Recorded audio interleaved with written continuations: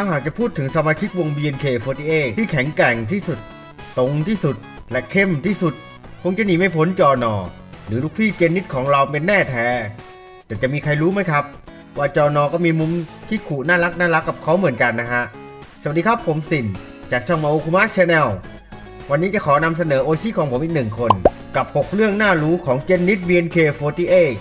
และก่อนจะไปรับชมกันฝากเพื่อนๆโอตาอย่าลืมกดไลค์เป็นกำลังใจให้ผมด้วยแล้วกันนะครับ งั้นไปเริ่มดูกันเลย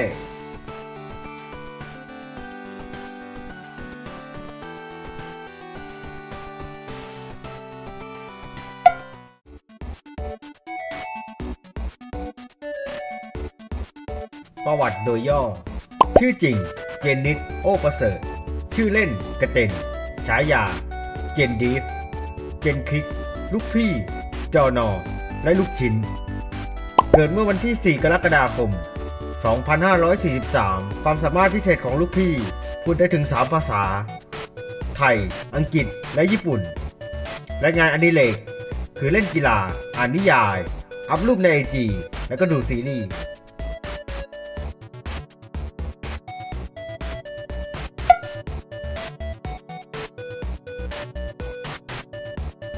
2. ที่มาของชื่อเล่น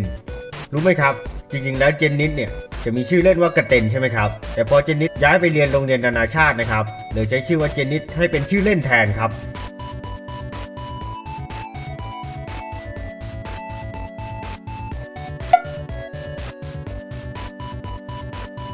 อันดับที่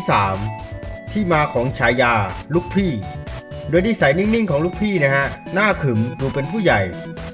และกล้าปราบปรามแฟนคลับที่มีพฤติกรรมไม่เหมาะสม ทุกคนเลยยกตำแหน่งลูกพี่ให้กับเจนนิดครับ เอ๊ะ หรือเพราะว่า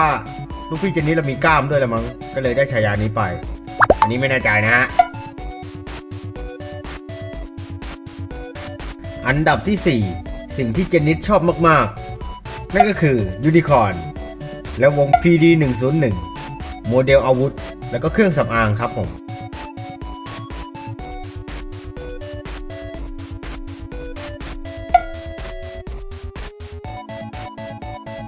อันดับที่ 5 การใช้ภาษา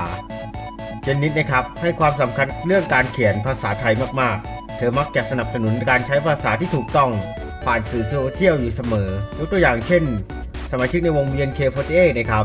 ในการเขียนแคปชั่นหรืออะไรต่างๆเนี่ยเขาจะต้องผ่านมือของเจนนิษฐ์ก่อนนะฮะถึงจะได้โพสต์ได้นะครับ ก็ถือว่าเป็นบุคคลตัวอย่างนะครับ ที่ทำให้การเขียนภาษาไทยเนี่ยถูกต้องมากขึ้นนะครับจริงๆแล้วผมเองก็ยังเขียนไม่ถูกเลยนะฮะ คะ ค่ะ นี่ก็ไม่รู้นะครับ ว่าเขาเขียนได้ยังไงอันนั้นก็เวอร์เกิน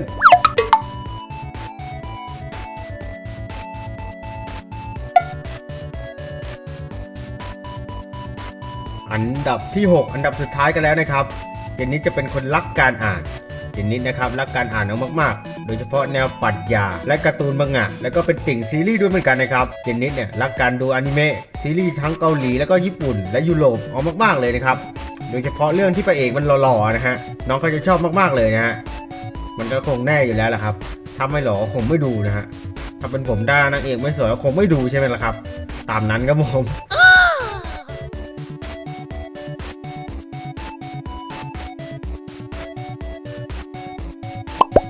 ก็จบกันไปแล้วนะครับ กับ 6 เรื่องน่ารู้ของเจนนิษฐ์ BNK48หรือลูกพี่ของวงของเรานั่นเองนะครับ